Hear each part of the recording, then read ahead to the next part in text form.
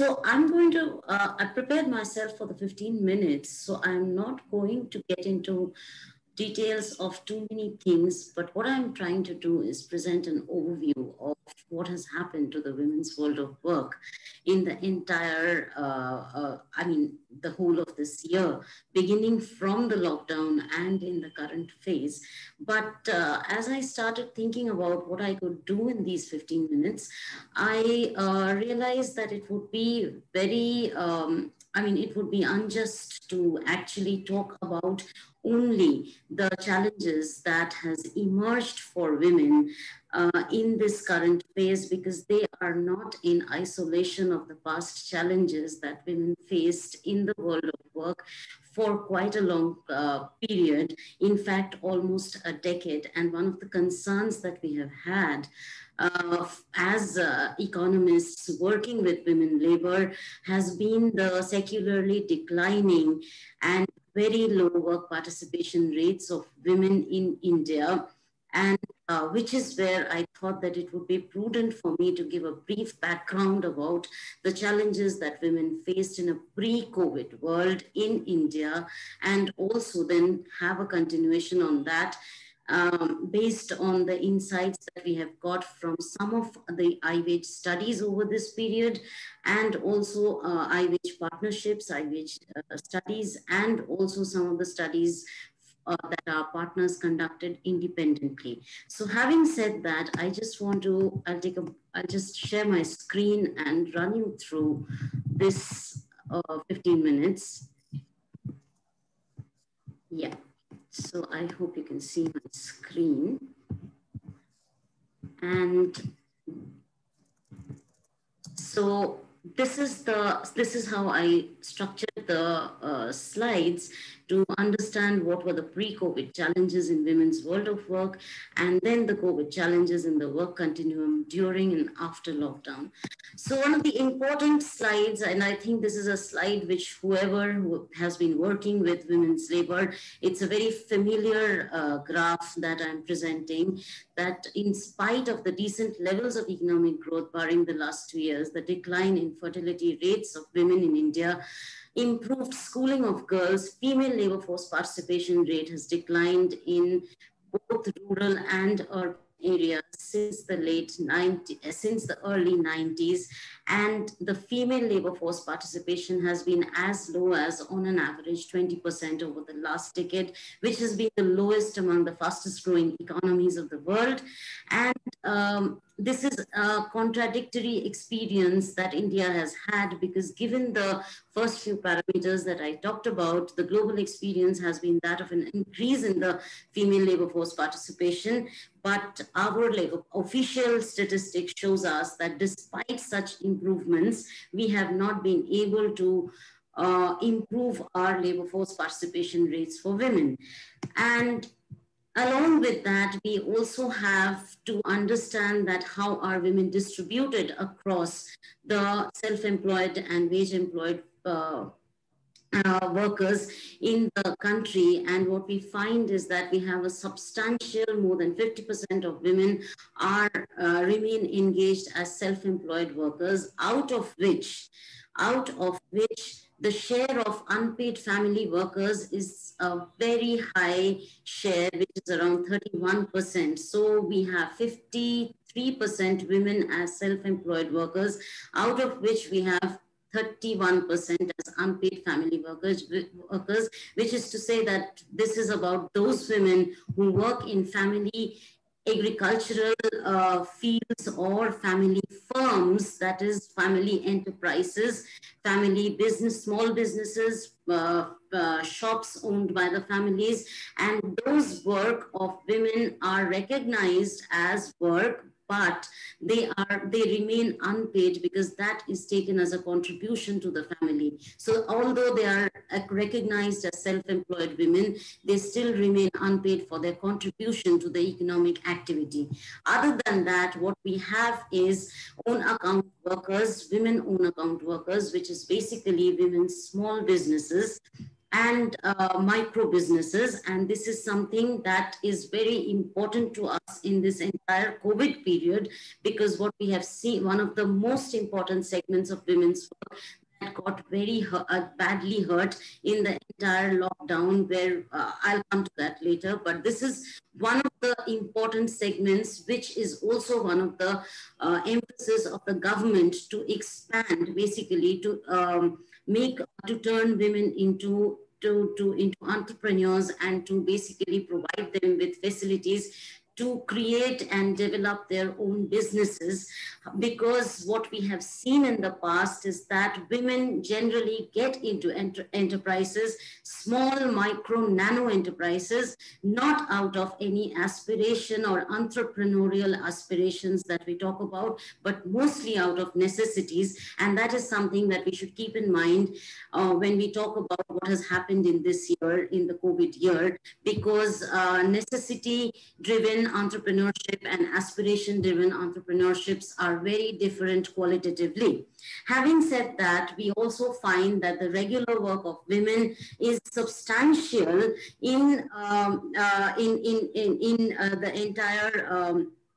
uh, labor force uh, participation that women have. But I would also like to highlight that regular wage employment for women, although has increased over the last 10 years, especially in urban areas, but these are employment which lack any jo written job contract where women are ineligible for paid leaves with no social security benefits. So basically what we find is there has been an increase in regular wage employment where women are paid at a regular interval, but in, under informal setups. That is to say that they do not have any remunerations or any sort of uh, non-wage remunerations which we uh, link with decent work. And um,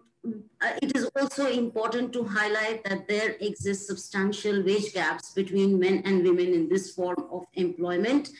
Uh, it is also to highlight that some of the other challenges that the pre-COVID or normally that women faced in the labor market were the wage gaps or the earning gaps. And the earning gaps in self-employment is much higher than the earning gaps for women in wage employment.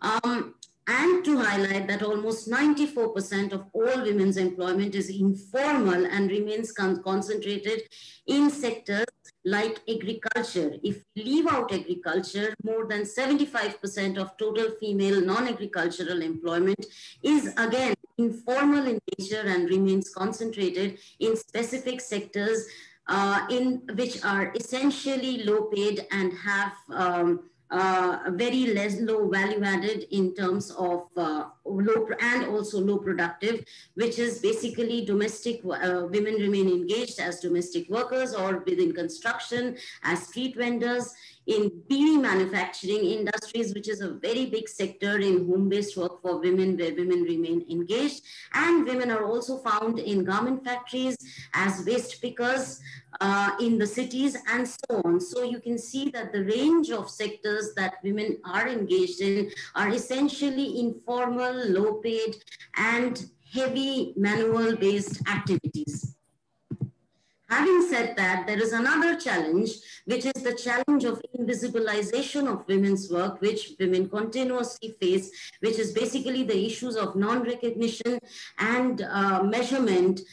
uh, uh, measurement of women's contribution to the economy, which doesn't fall under the traditional labor market, but it definitely contributes to the entire economy and society, women's, and I'm talking about women's contribution to the unpaid work in the economy. And uh, if, we, if we look at the current recently released Time Use survey, which was conducted in 2019, we would find that women spend almost five hours more on unpaid work than men in a day, and a work and uh, and a normal normal workday for women is essentially two hours longer than a normal workday for, for men. And some of the, and one of the important insights that the time use surveys provide us with all its limitations, I'm not going to get into that, would answer questions if there are any, but just to highlight that while the uh, the Time Use survey tells us that while the 711 minutes of men's work are well recognized and remunerated for, the uh, the 500 uh, minutes, 518 plus minutes of women's work are non-recognized as work and does not get counted and uh, therefore and therefore remain unremunerated. And this is a process where women's work gets undervalued and invisibilized, and also to an extent that the official statistics cannot count and do not show a large number of women as work as working although they do they do a lot of work in their um, in the domain which is which does not fall into the traditional labor market. And uh, this remains true for all countries but india has a special case because it is much more um, uh, severe in india. However having laid out these challenges some of the important things that emerged in the lockdown around this year would be one of the important things that um, even my previous speaker was trying to talk about in terms of when she was talking about the migrant workers women there has studies have shown several studies together taken together including IWWAGE studies have shown loss of income by up to 80% in extreme cases job losses in all sectors which have overrepresentation of women's women that is those sectors that i just spoke about. In certain factories what we have found is and this is something that i'm talking from a small uh, research which was supported by IWWAGE that job cuts have been more than 50% for women. And what women migrant workers have faced has been a lack of place to stay. Uh, uh, and this has happened precisely because if we look at women migrant workers, uh, the conditions of women migrant workers during the uh, lockdown period was pathetic. One uh, was was extremely uh, hurtful in the sense that one, women migrants were not really part of the discourse. It was a migrant worker discourse, and it was not and and the discourse was more about um, migrant workers, which was not focused on women. And hence, when we saw women, women were depicted as being part of the migrant family and not workers by themselves. So there was a problem of uh, visibilizing the women migrant in the initial part of the lockdown, which basically means that women were out of the announcements or the benefits that were being provided by the government. And therefore, and also we found out that a lot of women migrant workers who worked at construction sites did not have the identity cards, which basically registers them, registers them as workers and therefore could not get anything from the government benefit government beneficiary programs. Um, the, the, so, so this was part of the migrant uh, work, but however, on the other hand, what we found in some of our, so, so um, we have been working with the National Rural Livelihoods Mission very closely at IWWAGE, and we have been um,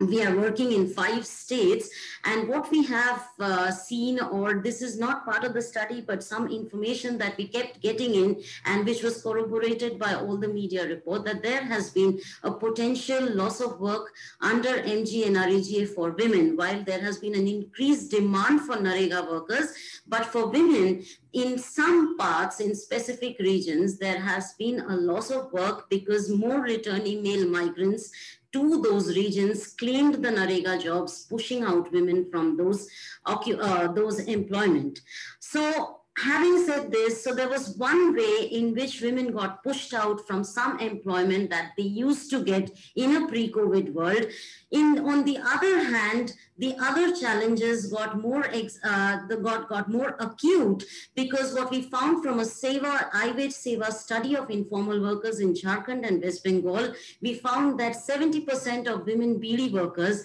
did not get enough employment or did not get enough work during the lockdown, and uh, currently even now when we are in a complete unlock, the supply of work for women daily workers has not been restored.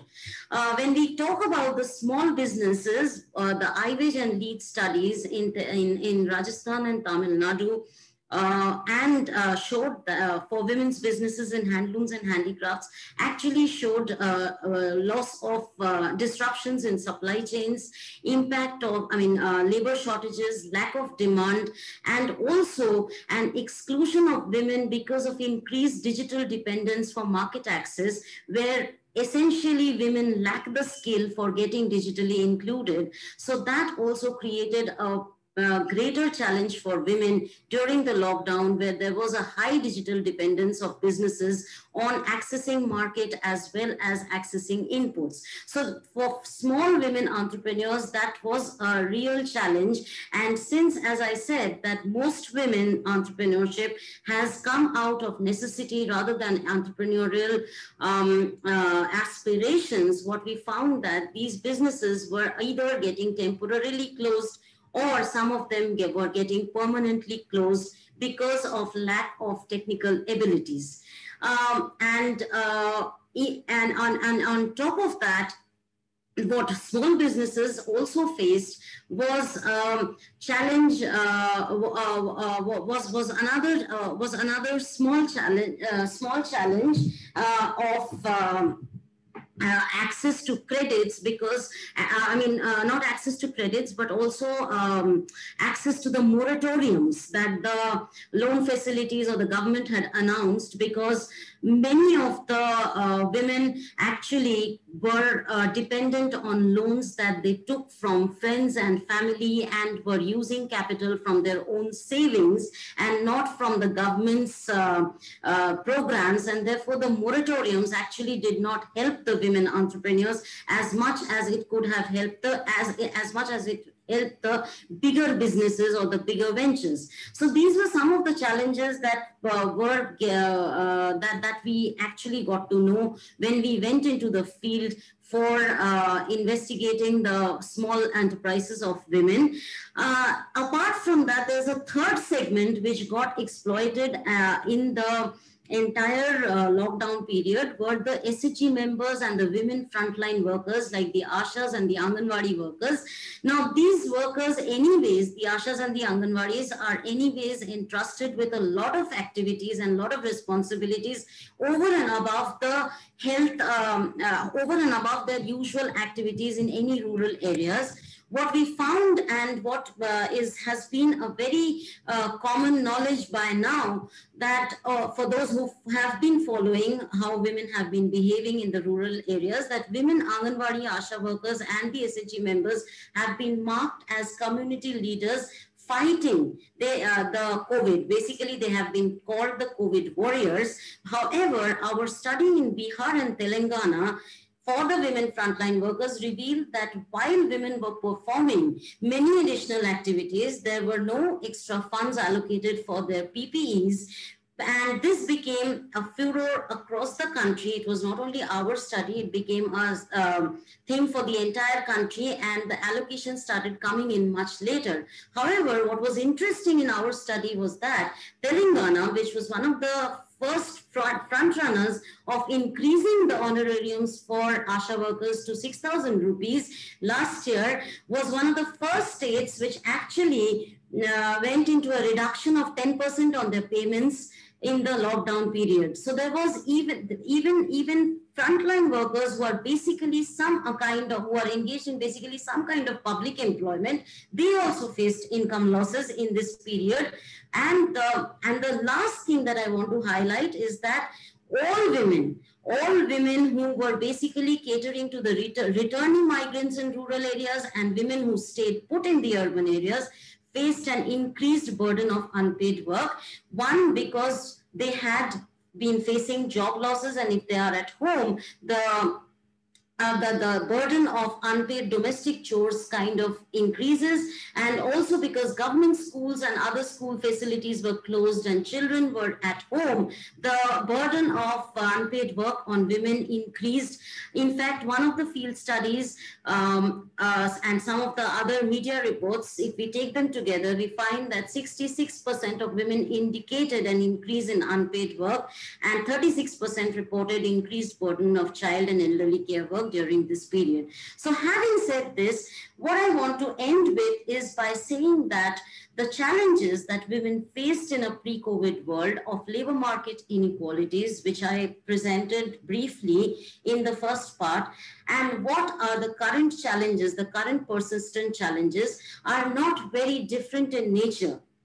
We have a problem of women not getting adequate employment, women not getting expected uh, uh, forms of employment. And here we have in the current form uh, crisis, an employment crisis that we are undergoing where women are actually being pushed out actively from the workforce. So what has happened in the uh, lockdown and post-lockdown is that the challenges that we had has become, has turned, become manifold and is affecting not only women's status within the labor market, but generally their well-being in the overall uh, economy and society. And there have been, and we have been recommending a lot of policy measures. We have been working with the closely with the MWCD and uh, the Ministry of Women and Child Development, Ministry of Rural Development, and also with the Niti Aayog, but I'm not getting into those. I'll speak to that if there are any questions. Thank you.